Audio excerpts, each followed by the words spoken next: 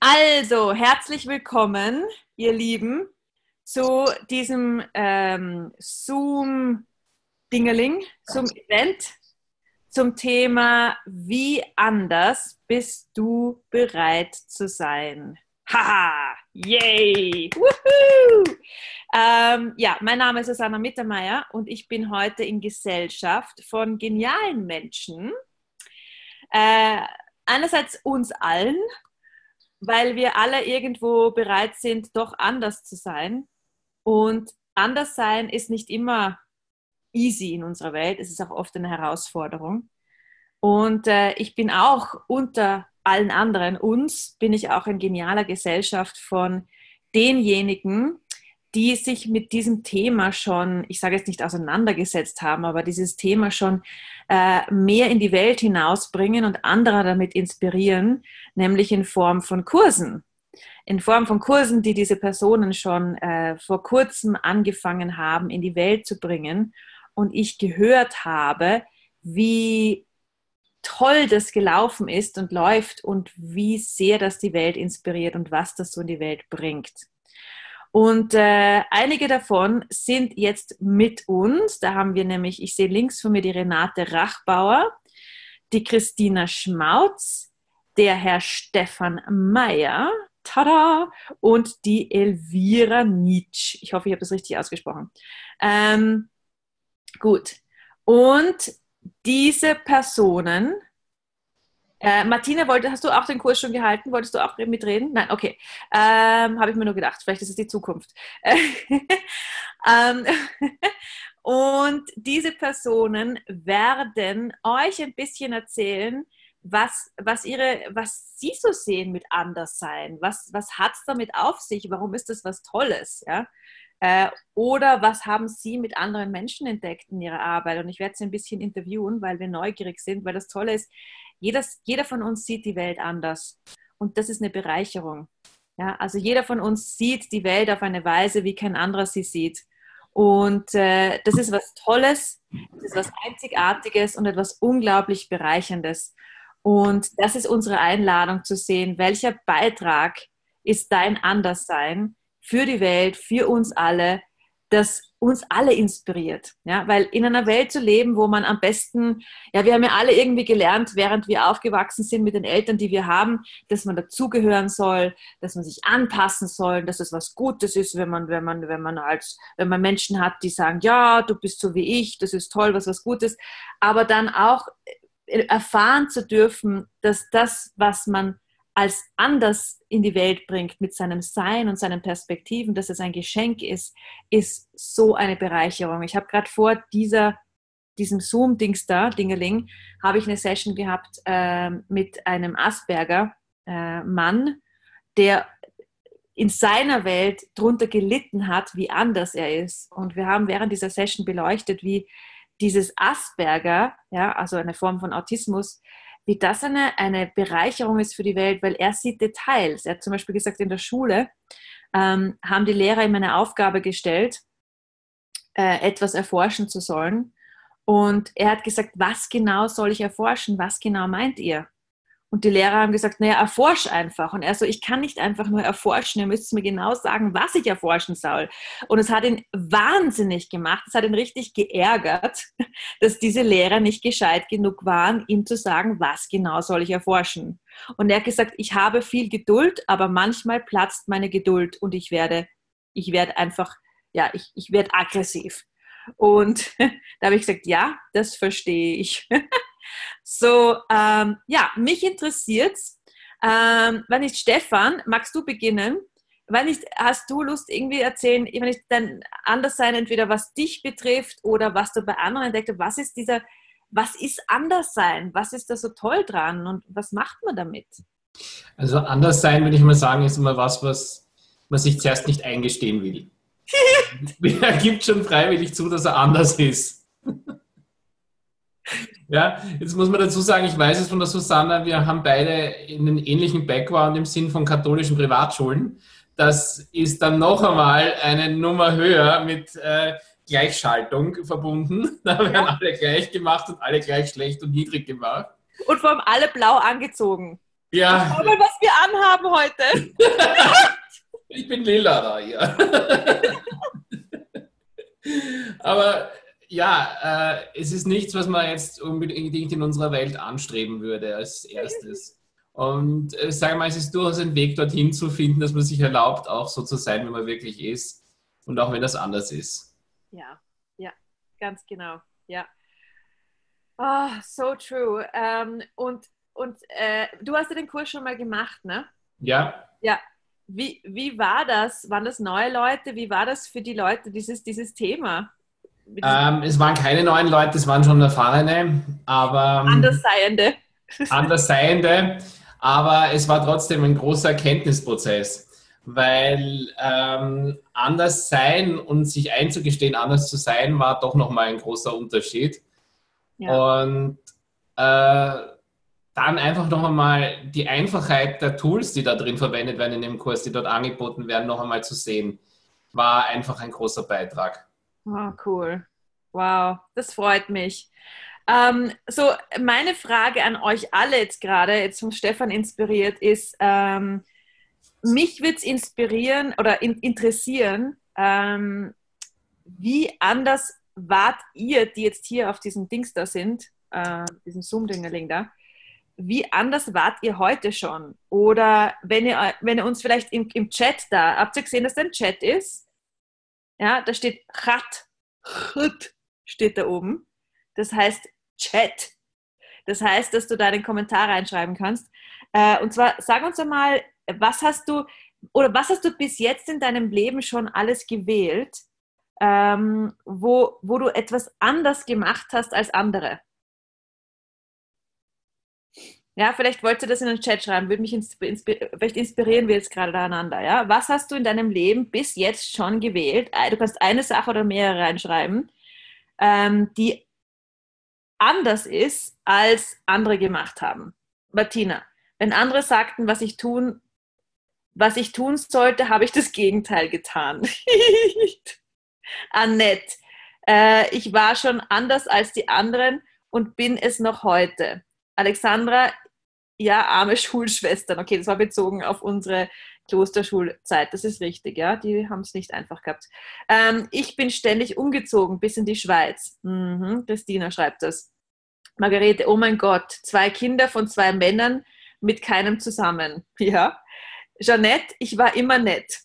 Es reimt sich. Ist das cool? Und und jetzt interessiert es mich als nächste Frage, ähm, was hast du in der letzten Zeit anders gemacht oder welche Wahlen, welche, welche Wahlen hast du getroffen, die anders sind als die in deiner Vergangenheit? Ja, welche Wahlen hast du in letzter Zeit getroffen, die anders sind als das, was du in deiner Vergangenheit gewählt hast? Habt ihr da ein Beispiel? Ich habe mich von allen Schafen getrennt. Super. Ich habe alles hinterfragt. Cool, Tanne. Yep. Ich habe mir erlaubt, nicht nett zu sein. Genial. Ich mich nicht mehr entschuldigt, anders zu sein. Sehr cool. Super. Ja. Ich erlaube mir keinen festen Wohnsitz mehr zu haben. Super. Mhm. Ja, warum, warum stelle ich diese Frage? Weil wenn man anfängt anzuerkennen, dass man jetzt oder in letzter Zeit andere Wahlen trifft als in der Vergangenheit, dann führt man sich wirklich vor Augen, dass man sein Leben in eine andere Richtung lenkt, als man es in der Vergangenheit gemacht hat. Ja? Und in dem Moment, wo du anerkennst, dass du Wahlen triffst, jetzt oder in letzter Zeit, die anders sind als die Vergangenheit, dann kannst du durch diese Anerkennung mal sehen, wow, ich habe schon was verändert. Und es geht diese ständige, ich muss mich verändern, ich muss was tun, ja, ich habe noch nicht genug, ich bin noch nicht genug, dieser ganze Stress fällt weg, zugunsten von der Anerkennung, dass du schon so viel verändert hast und dadurch, hey, was geht noch alles? Ähm, jetzt muss ich da noch lesen. Warte mal, wo sind wir denn jetzt? Äh, oh, geile Kommentare. Moment, Moment. Ah, ich erlaube mir keinen festen Wohnsitz mehr zu haben. Genau. Stelle Forderungen und bin nicht bereit, alles zu erklären, warum ich was mache und will. Super. Ich habe anerkannt, anders zu sein. Ich habe einen Lover trotz 30. Ja, jetzt haben wir einen Dingerling da. Moment. Beim Lover ist es jetzt ist Screen Sharing gegangen. Ist angegangen. Das ist lustig. Anna, du machst gerade, du teilst gerade Informationen mit uns. Ähm, mm, mm, mm, Wo waren wir? Ich habe einen Lover trotz 30 Jahre Ehe. Aha. Ich lasse in jedem Moment das zu, was gerade ist. Ich erlaube mir die Wahlen zu treffen, die für mich funktionieren. Kleine Kostprobe. Ich habe in Neapel einen Neapel wie sagt man, Nepalesen geheiratet, den ich nur fünf Monate kannte und habe als Einzelkind nicht mal meine Eltern eingeweiht. Coach-Sitzungen gebucht und endlich aus meinen Zwängen rauszukommen. Ich fühle mich mehr richtig seit Access. Okay, so würdet ihr anerkennen, dass äh, dieses Anderssein und vor allem eure Kommentare wie mutig das ist. Ja? Wie, viel, wie viel Verletzlichkeit braucht es, um sich erlauben, anders zu sein und dem auch Worte zu geben. Ja, alles, was ihr da noch nicht anerkannt habt, alles, was ich erlaubt, dass ihr sagt, yay, me, werdet ihr das bitte zerstören und kreieren.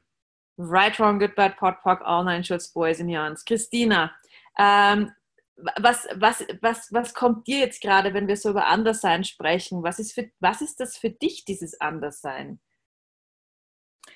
Ähm, dieses Anderssein, das war für mich äh, gerade auch im, im Hinblick auf diesen Kurs, hatte ich total eine geniale Erkenntnis. Ähm, und das, das fällt mir jetzt gerade so ein, ähm, man hat immer gesagt, ich wäre schüchtern und ich habe das immer abgekauft. Also man hat gesagt, ich, ich bin immer so, ich war so ein ganz schüchternes Kind und, und äh, zurückhaltend und ich bin immer nur da gesessen bei den Erwachsenen und habe gemalt und, und ich habe tatsächlich abgekauft, dass ich schüchtern bin, ja. Und ähm, mir ist bei diesem Kurs klar geworden, äh, ich war gar nicht schüchtern. Ich habe bloß keine Kommunikation mit den Erwachsenen gebraucht, weil ich ja eher alles gespürt habe. Ah. Und ähm, und da ist mir auf, auf einmal so klar geworden, ja, wie oft wir die Dinge abkaufen, obwohl es wie ein komplett anderer Kontext war. Ja, es, ist, es hat für mich total was verändert, weil ich endlich dieses schüchterne ähm, Anderssein endlich mal ad acta legen konnte. Und für mich klar war, ah, ich, ich war ja noch nie schüchtern. Und, äh, und das mir so viel erleichtert hat, weil ähm, ja, plötzlich konnte ich einfach präsent auch, auch so mit Menschen sein, ohne zu denken, ja, ich muss jetzt meine Schüchternheit überwinden. Und äh, das war noch nie da. Wow. ja. Das ist voll cool, weil was du jetzt sagst, Christina, ist ja dieses, äh, wo man sich selber definiert als etwas. Ja, ja total. Also wenn man, wenn man als Kind als schüchtern gesehen wird oder als, weiß ich nicht, äh, es gibt ja so Geschwister, wo der eine ist der Intelligente und der andere ist der Hübsche, ne? Aber das kann man da nicht mischen. Ne? Dann ist man, dann sagen die Eltern, na Gott sei Dank ist sie gescheit, weil schön ist nicht. Oder sie denken sich, na Gott sei Dank ist sie schön, weil gescheit ist nicht. Ne? Und dann irgendwie, teilweise wird es ausgesprochen und oft nicht, aber es wird auf jeden Fall auf dich projiziert und man spürt das ja, ja. Also wir sind ja nicht blöd, dass wir sowas nicht spüren. Ähm, und, und dann nimmst du das und machst das zu deiner Definition, zu deiner, zu deiner Identität und das hält dich ja davon ab, zu sehen, hey, was bin ich noch über schön oder über gescheit hinaus? Ne? Vielleicht bin ich schön und gescheit oder zumindest schön und ein bisschen gescheit, ja. Ähm, und ja, und dann, und dann kreiert man seine ganze Welt auf diesen Definitionen, auf, auf diese Art, sich zu identifizieren, weil es weil es andere, ja, andere sind zufrieden, weil sie dich eingeboxt haben. Die finden das toll, weil dann haben sie die Welt definiert und sie wissen, wer du bist, ne? Sehr fest, sehr, sehr bequem für die. Und du denkst dir, ja, ich bin halt schön, ne? Gescheit bin ich nicht, aber schön bin ich. Oder ich bin schüchtern oder ich bin das. So alles, was das ist, alle Definitionen, die ihr über euch abgekauft habt, die euch davon abhalten, mehr zu sein als die und großartiger zu sein als diese Definitionen, werdet es bitte zerstören und kreieren, Margot Zillionen. Tada! Right, Wrong, Good, Bad, Pot, Pock, All Nine, Schutz, Boys im Jahr. Und die Christina, wie geil draufgekommen, hey, ich bin ja gar nicht schüchtern. Ich weiß nur, was ich will ich weiß, mit wem ich sprechen möchte. Ich weiß, mit wem es mir Spaß macht zu kommunizieren. Ich weiß, wo ich am meisten rauskriege von der, oder wo ich am meisten mitbekomme. Das ist ja eine Form von Intelligenz, ne? Weil die Christine hat immer schon gewusst, was für sie funktioniert. Ja, ja. aber es wurde anders interpretiert. Genau, ja, total. Und ähm, gut, ist jetzt weniger jetzt auf deine Frage bezogen mit dem Anderssein, aber es geht, es geht tatsächlich in die Richtung dieses, dieses, ja, Sein einfach, wie man in dem Moment ist, ja, wie du sagst, mit den Definitionen, das mal auch auseinanderzunehmen und wirklich zu schauen, okay, was steckt denn tatsächlich dahinter, ja. Ja, das ja. war eine sehr coole Geschichte bei dem, bei dem Kurs, ja. Und man kann ja sogar auch da sitzen und selber eine Selbsterleuchtung haben. Ja, das ist echt so toll, ne? ob man einen Kurs geht oder ihn hält. Äh, man lernt immer etwas. Und vor allem, wenn man bereit ist, als die Person, die den Kurs hält, zu sagen, hey, ich bin hier nicht der Experte, sondern ich bin der Facilitator. Und Facilitator heißt ja der, der Erleichterung bringt. Dann braucht man nicht so gescheit sein. Dann braucht man nur gescheit genug sein, Fragen zu stellen und, und das Gescheite aus den anderen rauszukitzeln. Ne? Also, ähm, Renate, wie, wie geht es dir, wenn wir so reden? Was kommt dir gerade? Was ist, was, was ist, da, was ist das, das, das Wertvolle am Anderssein für dich oder was hast du da entdeckt in deiner Welt? Ja, also für mich war das ähm, damals einfach schon, also bevor ich Exes kennengelernt habe, wie ich von heute auf morgen meinen Ex noch verlassen habe und was gemacht habe, was total irrational war. Wo ich mich ganz, ganz lange auch falsch gemacht habe dafür, bis ich gemerkt habe, okay, ich habe es einfach gemacht, weil ich es kennen habe. Ja. Und das ist mir so richtig bewusst worden, jetzt auch mit der pragmatischen Psychologie, mit diesem Kurs. Und es ist mir immer gesagt worden, du bist zu viel, du bist zu laut, du, ja, immer zu viel. Ich war irgendwo immer zu viel. Und was habe ich gemacht? Ich habe dann halt immer kleiner gemacht. Ja. Ich habe jahrelang immer mich kleiner gemacht und eher zurückgenommen, damit ich ja nicht irgendwo anecke oder dass ich wieder für irgendwem zu viel bin. Und habe gemerkt, ja, okay, aber das ist aber genau das, was ich bin. Und wer es nicht aushält, hm, okay,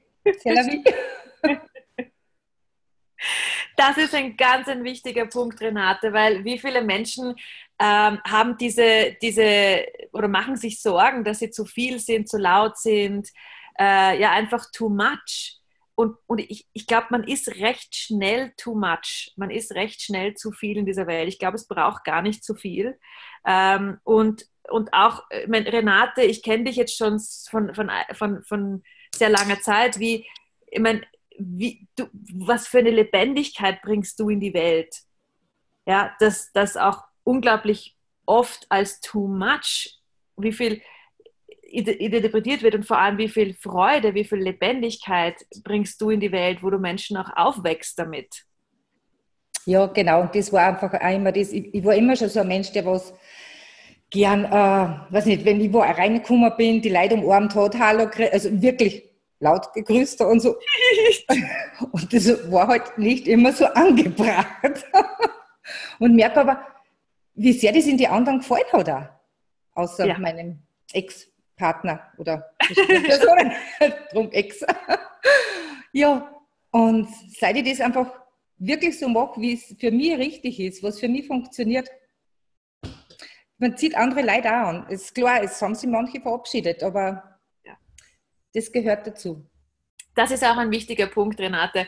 Äh, wenn, wenn man dieses Anderssein rauslässt, dass sich auf der einen Seite eine unglaubliche Entspannung auftut, das Leben erweitert sich, man trifft Wahlen, die für einen funktionieren, man versucht sich nicht mehr reinzupressen in etwas, und der Nebeneffekt kann sein, dass Menschen gehen, ja, dass Menschen einfach sagen, was soll ich mit dir? Du bist nicht mehr so, wie du früher warst. Ich mag das nicht. Ich möchte nicht mehr mit dir befreundet sein. Und da kann man sich fragen, war das jemals eine Freundschaft? Ja, also ich, ich kann mich erinnern, ich habe vor vielen Jahren einen, einen Kurs gehalten und dann hat mich eine Frau angerufen und dann habe ich sie gesagt, habe ich gesagt, ja, wie geht's dir nach dem Kurs? Sagt sie, ja, mir geht's blendend. Nur meine Freunde haben sich verabschiedet. Und, und habe ich gesagt, ja, wie, was ist da gewesen? Naja, also erstens einmal, ich habe kein Problem damit, mir geht es gut, aber meine Freunde, die haben mich gefragt, ob mit mir was nicht stimmt. Warum bist du so fröhlich? Das kann doch nicht normal sein. Und dann sind die gegangen und sie hat gelernt, dankbar dafür zu sein. Und mittlerweile hat sie ganz andere Freunde, die wirklich ihr Leben bereichern. Ja, ja genau, das stimmt. Also das kenne ich auch. Ja, ja, genau. Super. Und es macht viel mehr Spaß. Ja, man hat ja. viel mehr Spaß, ja. Und das ist auch ein, ein Mut, ja, wenn die Renate redet über ich bin bereit, dieses zu viel, zu glücklich, Leichtigkeit an den Tag zu legen, das ist auch eine, ein, ein Patzen Mut, den man da braucht. Ne? Man, man weiß ja nicht, wie das ankommt. Manche finden es toll, manche sind inspiriert und manche laufen weg. Und wenn es nicht mehr darum geht, kontrollieren zu müssen, wie man ankommt bei anderen, mhm. ja, dann, dann hast du wirklich wahre Freiheit. So überall, wo ihr alle kontrolliert, wie ihr ankommt, überall, wo ihr kontrolliert, wie andere euch empfangen und ob andere euch empfangen und überall, wo ihr das wichtig und relevant macht für euch, werdet ihr das bitte zerstören und kreieren. Right, wrong, good, bad, pot, pock, all nine shoots, boys and beyonds. Ja? Cool. Super, Renate. Super Inputs. Okay. Danke. Okay. Echt cool. Ähm, so, noch einmal, überall, wo ihr euch Sorgen macht, wie ihr ankommt und wie andere euch empfangen, werdet ihr das bitte mal Gozillionen zerstören und kreieren. Right, wrong, good, bad, pot, pock, all nine shorts, boys and beyonds. Ja, weil andere Menschen versuchen, dich zu definieren. Du definierst dich in Bezug auf andere Menschen. Du definierst andere in Bezug auf dich. Und jede Definition ist per Definition eine Begrenzung. Jedes Mal, wenn du dich definierst, hältst du Möglichkeiten fern. So wäre es, wenn du dich gar nicht mehr definieren musst, sondern dich fragst, wie möchte ich mich kreieren? Ja, also anstatt dich zu definieren, kreier dich und kreier dich jeden Tag aufs Neue und frag, wie möchte ich mich heute kreieren? Was macht mir jetzt Spaß? Oder wie möchte ich mich in diesem Moment kreieren? Ja, alles, was das nicht erlaubt, ist bitte zerstören und kreieren. Right, wrong, good, bad, pot, pock, all nine shorts, boys and yons. Ähm, Elvira, bist du noch da? Ja, da bist du. Schauen wir mal, ob es geht. Wenn nicht, dann muss das Video ausschalten. Schauen wir mal, wie das Internet funktioniert. Hi. Ja. Hi. Hi. Hi. Also. Ähm, ja.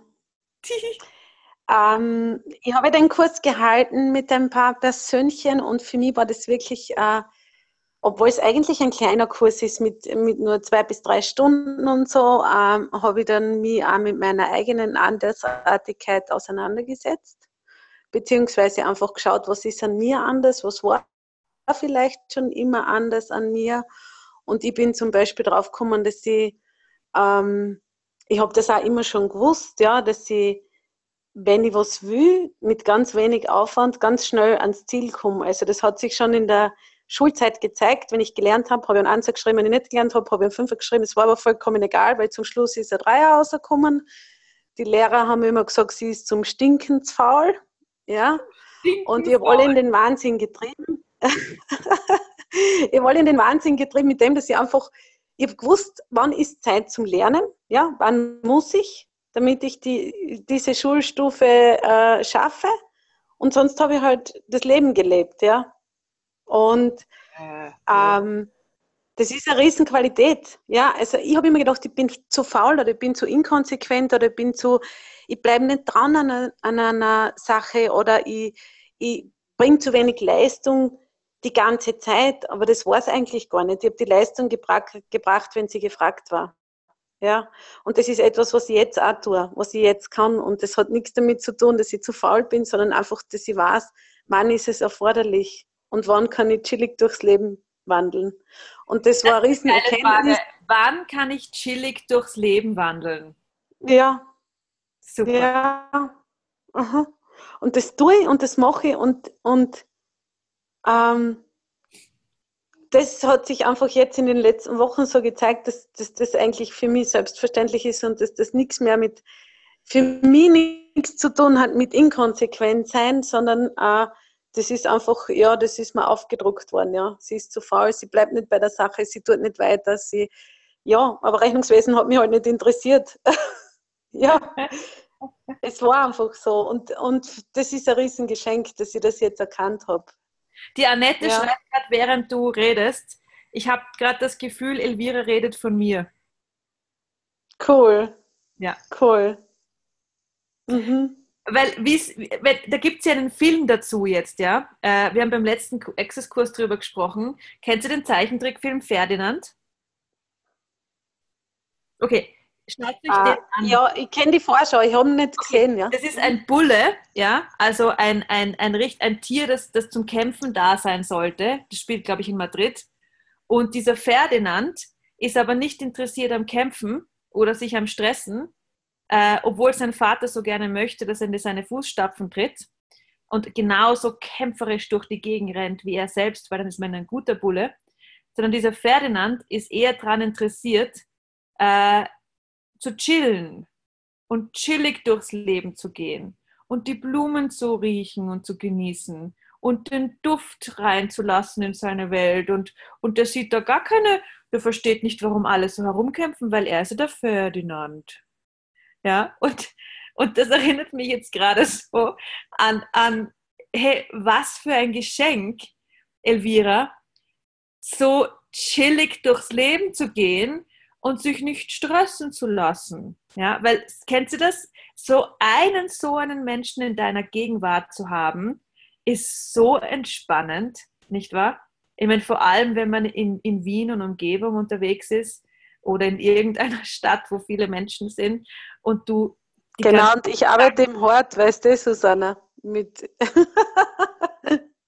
Ja. yeah. Und was, sagen, und was sagen dir die, weil du hast mir erzählt, was sagen dir die Eltern? Was kriegst du für Kommentare von den Eltern, von den Kindern im Hort? Ähm, die Eltern, äh, so richtig Kommentare nicht äh, zu dem, wie ich bin oder was ich bin, aber ich merke einfach, dass sie total glücklich sind.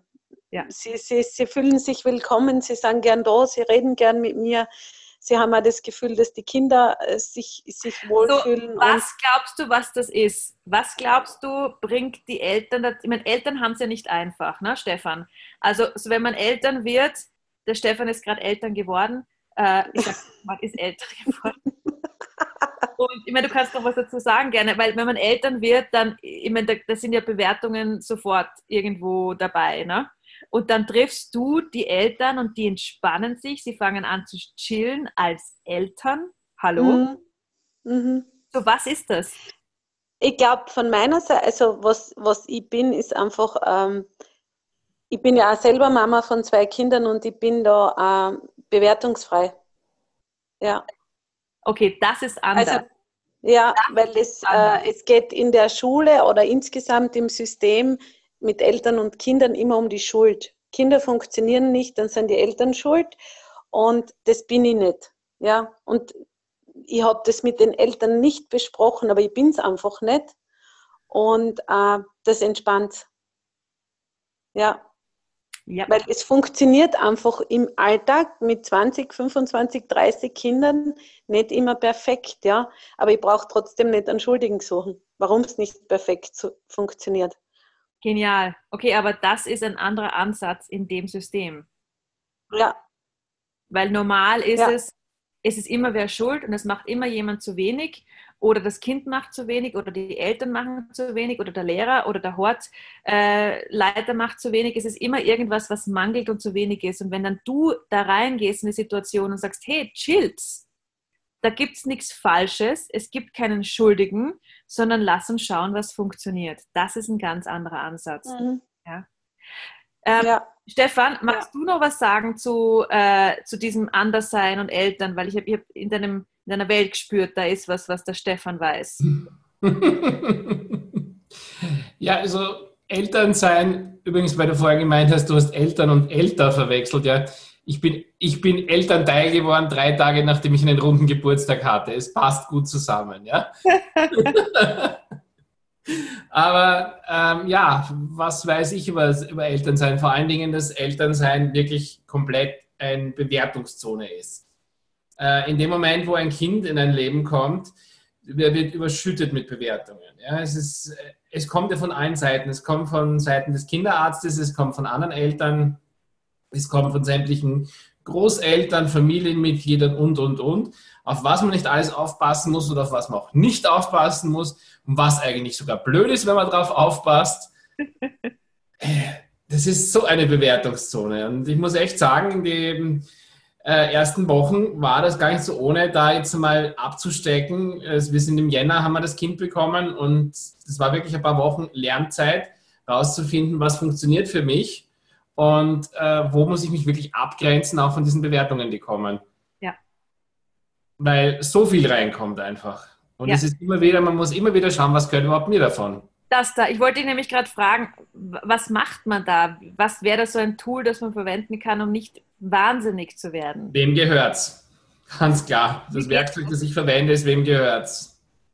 Wie, wie verwendet man das? Ich weiß nicht, ob alle das kennen, die hier okay. sind. Das Werkzeug wem gehört's verwendet man so, dass man einfach diese Frage mehrfach stellt. Also ich stelle sie meistens drei, vier Mal hintereinander. Wem gehört's? Also ich habe ein Gefühl, ich habe eine Wahrnehmung, eine Emotion die in mein Leben eintritt und die jetzt gerade ganz stark präsent bei mir ist.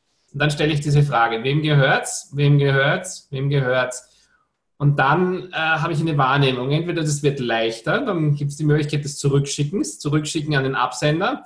Oder wenn es irgendwie schwer wird und fest wird, dann zerstören umkreiere ich es, wie wir es bei Access so schön tun.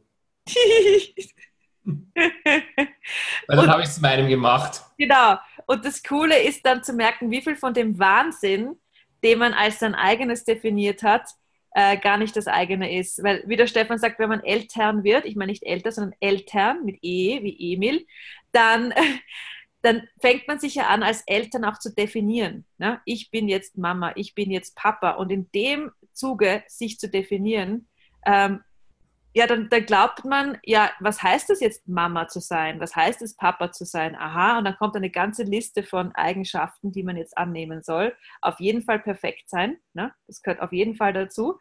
Und, und das ist dann so ein ultimativer Stressfaktor, der dich davon abhält zu fragen, okay, was ist Mama sein für mich? Wie bin ich Mamas Mama?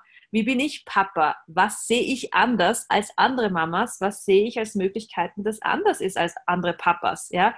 Mama sein, Papa sein gibt schon seit Jahrtausenden, ja, ja, Megatausenden, ja. Das heißt nicht, dass du nichts Neues in die Welt bringen musst oder kannst, ja. So nur weil es schon ur viele zig Millionen, Billionen Papas und Mamas bis jetzt gab, heißt es nicht, dass du nichts Neues in die Welt bringen kannst, weil dich gibt es jetzt. Und du, so wie du jetzt die Welt siehst, das gab es vorher nicht. Ja? So was seht ihr? Was seht ihr für Möglichkeiten, die kein anderer sieht? Und alles, was das nicht erlaubt, wird es bitte zerstören und kreieren. Right, wrong, good, bad, pot, pock, all nine shorts, boys and beyonds. Cool. Ähm, habt ihr, ihr könnt, ich könnte mich bitte gerne unterbrechen, ja? Christina, Stefan, Renate, Elvira, äh, wenn, ihr, wenn ihr irgendwas zu dem Thema habt, wo ihr sagt, boah, das, das, das kommt mir gerade, das möchte ich gerne sagen oder das möchte ich gerne reinbringen, bitte, bitte unterbrecht mich. Ihr kennt mich alle, ihr wisst, ich rede wie ein Wasserfall, vor allem wenn ich, wenn ich äh, excited bin, wenn, ich, wenn, ich, wenn mich ein Thema interessiert. Bitte einfach unterbrechen ja, und sagen. Hm, ich schaue noch gerade, ob da irgendwelche Fragen sind. Ich sage was kurz. Vira, go for it.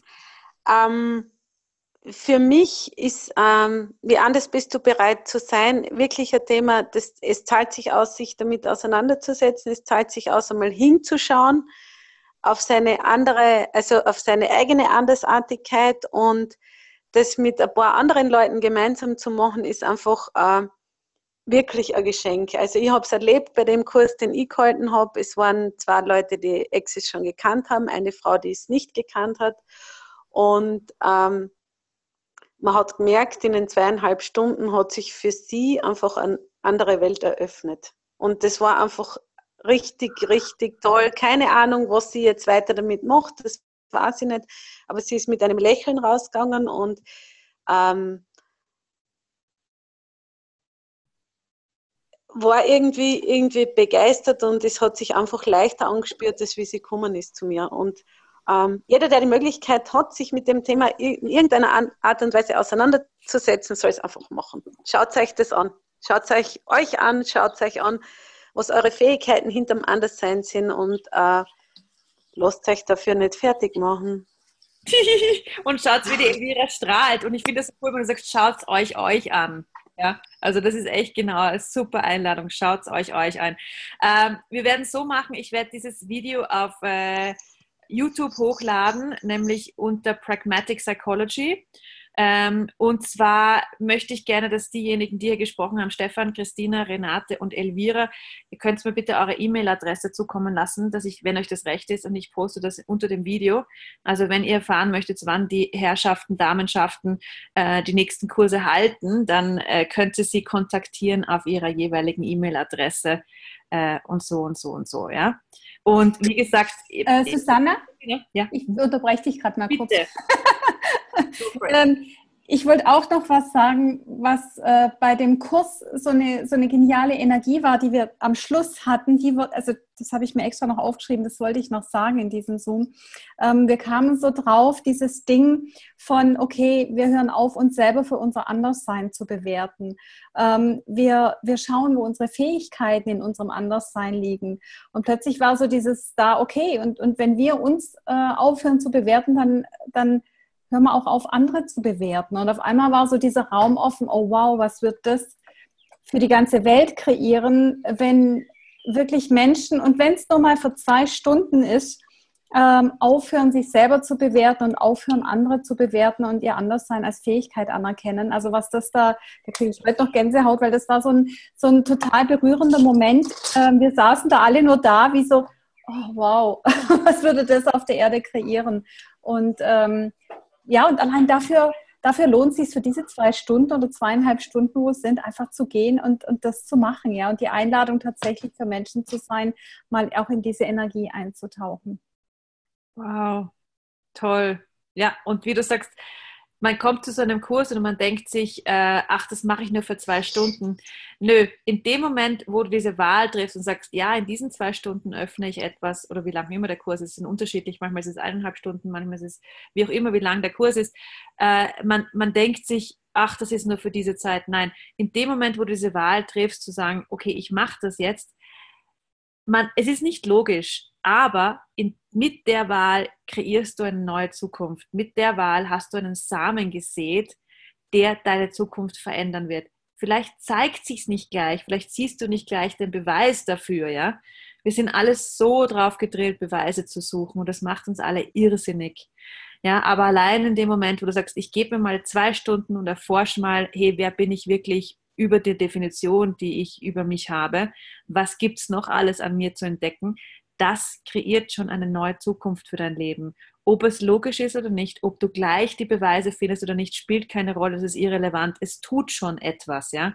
Weil Veränderung ist nicht, da gibt es nicht immer gleich Beweise, bis sich Veränderung verwirklicht. Das dauert ein bisschen und wir haben alle ein bisschen zu wenig Geduld dafür. wir wollen es alle gerne gestern schon, aber diese Kurse kreieren schon einen Samen, äh, der deine Zukunft in eine andere Richtung lenkt. Und äh, da kann man immer fragen, hey, was hat sich in den zwei Stunden schon getan? Und wenn ich das anerkenne, dann kann ich mehr davon haben. Ja, und das ist überhaupt ein, ein super Werkzeug. Erkenn mal an, was du bisher in deinem Leben alles schon verändert hast. Und, und wenn du es anerkennst, was geht noch alles drüber hinaus? Ja? Gibt es noch irgendetwas, das ihr sagen wollt, hinzufügen wollt, kommentieren wollt? Jetzt so am Ende unserer gemeinsamen Eines möchte ich schon noch ja. sagen dieser Kurs, was mir nämlich an dem besonders gut gefallen hat, ist, wie einfach und einladend der ist. Äh, ich meine, ich habe mich, ich gebe es zu, ich bin jemand, der sich auf alles in letzter Sekunde vorbereitet, nichts wirklich tut gerne im Vorfeld und sich Zeit lässt bis zum Schluss. Genauso habe ich es bei diesem Kurs auch gehalten.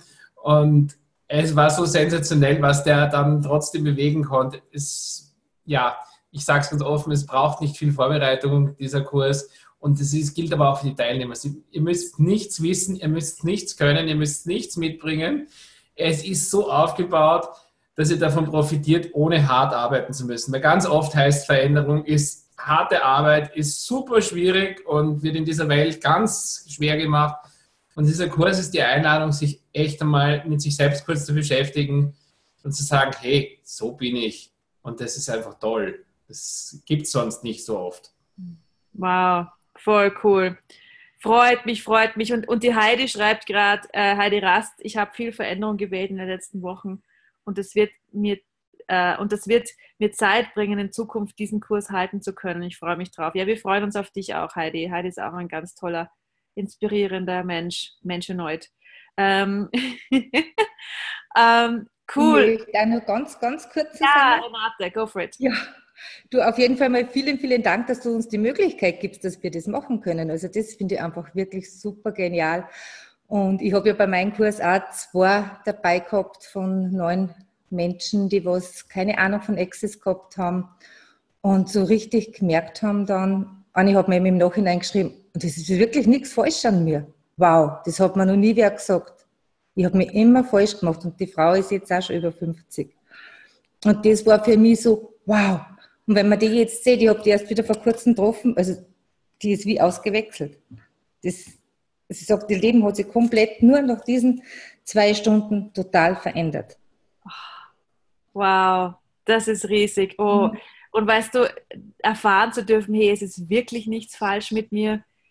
Und dann, und dann, und dann so, so jemanden in, in seinem Kurs zu haben, das ist, das ist so ein Geschenk, so ein Geschenk, weil wenn man anerkennt, hey, alle, die wir diese Kurse halten, und die Margarete schreibt gerade, sie möchte auch diesen Kurs halten, äh, und Karin Pilz auch, und wir freuen uns auf alle euch, weil es ist so ein Geschenk. Ich meine, wenn wir mal anerkennen, hey, welche Welt wollen wir wirklich haben? Welche, welche Zukunft wollen wir kreieren? Wozu laden wir ein? Ja, für, für mehr, mehr Farben, mehr Nuancen, für, für das, was wir alle sind, das, was wir an Anderssein, jeder Einzelne auf unsere, und, unsere unterschiedlichen Weisen in die Welt bringen das ist ja die Einladung, um, den Welt, um die Welt zu einem Spielplatz zu machen, um die Welt zu etwas zu machen, wo es Spaß macht zu sein. Und wenn wir anerkennen, was wir wirklich wollen, anstatt was wir glauben, dass wir wollen. Oh, es muss, man muss erfolgreich sein und man muss, man muss Resultate erzielen und so weiter. Ja, das ist alles gut und schön. Nur reicht uns das wirklich oder wollen wir mehr? Und ich glaube, wir können alle miteinander anerkennen, wir wollen mehr als das. Wir wollen mehr als nur in dieser Realität Resultate erzielen und erfolgreich sein. Wir wollen wirklich zu was anderem einladen. Und dieses Anderssein ist nicht nur teilnehmerbezogen, es ist auch die Leute, die den Kurs facilitieren. Jeder Einzelne, der diesen Kurs facilitiert, ist anders. Jeder Einzelne, der diesen Kurs facilitiert, will eine andere Welt kreieren, die wirklich funktioniert für uns. Und das ist unsere Einladung. Und wenn dich das interessiert, äh, dann wird hier unter diesem Video das, die Informationen gepostet, wo du mehr Informationen finden kannst. Und wir freuen uns riesig auf dich mit uns, mit euch und unserem Anderssein. Danke fürs Dabeisein. Äh, danke Renate, Elvira, Christina, Stefan und allen anderen, die diese Kurse halten werden in Zukunft. Danke für euer Sein und wir freuen uns auf euch. Danke, Susanna, für die Einfachheit. Danke, ja, Margarete. Danke. Mhm. danke. Vielen Dank, Susanna. danke. danke. Tschüss. Tschüss. Tschüss. Vielen Dank. Tschüss. Danke.